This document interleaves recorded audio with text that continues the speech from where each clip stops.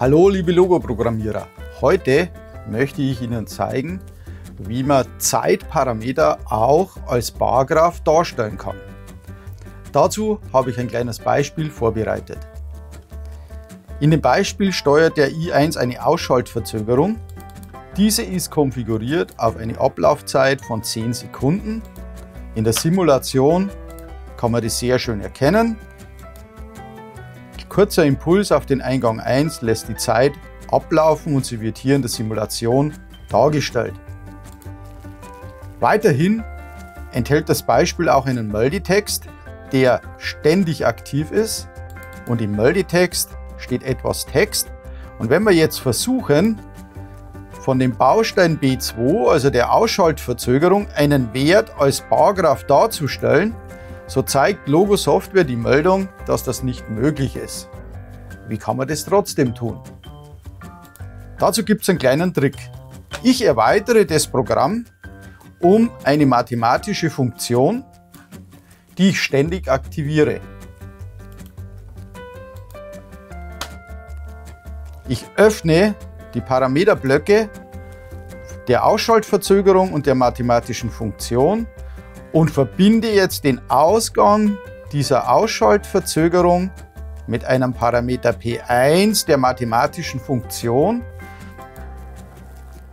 und sehe hier bei den Eigenschaften den Verweis, Parameter V1 zeigt den Ausgang des Bausteins B02, also dieser Ausschaltverzögerung. Wenn wir jetzt die Eigenschaften unseres Melditext wieder öffnen, kann ich an der Stelle, an der ich es gern habe, jetzt einen Bargraph einfügen und auf die Funktion B03, also die mathematische Funktion, verweisen. Als Weite geben wir die komplette Breite des Logo-Displays an, also 16 Zeichen, bestätigen das mit OK. Wir sehen hier den Bargraph an der Position und können uns das in der Simulation sofort betrachten und sehen also, anstelle des Parameters wird der Ausgang der mathematischen Funktion angezeigt und der Bargraph füllt sich den kompletten Bereich, so wie ich den festgelegt habe. Jetzt ist es aber oftmals möglich, gerade ablaufende Zeiten genau in der anderen Richtung anzeigen zu lassen. Wie ist das jetzt möglich?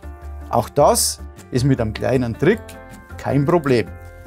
Ich kopiere mir einfach nur diese mathematische Funktion, verbinde wieder den Ausgang der Ausschaltverzögerung, allerdings jetzt auf den Eingang P2, öffne die Eigenschaften der mathematischen Funktion, gebe als Parameter in V1 den Wert 1000 ein, der in unserem Beispiel genau den 10 Sekunden entspricht und sage oder konfiguriere ich möchte von den Wert 1000 die ablaufende Zeit abziehen.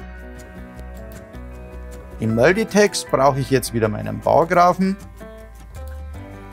und ich sage hier, ich möchte den Ausgang der Funktion B4 haben, wieder über die gesamte Breite des Displays.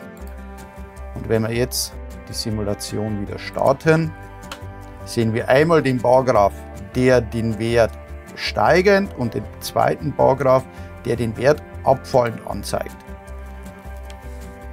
Sie sehen, mit diesem einfachen Trick lassen sich auch Parameter von Zeitgliedern in einer Textmeldung als Bargraph darstellen. Ich wünsche Ihnen weiterhin viel Spaß und Erfolg mit Logo.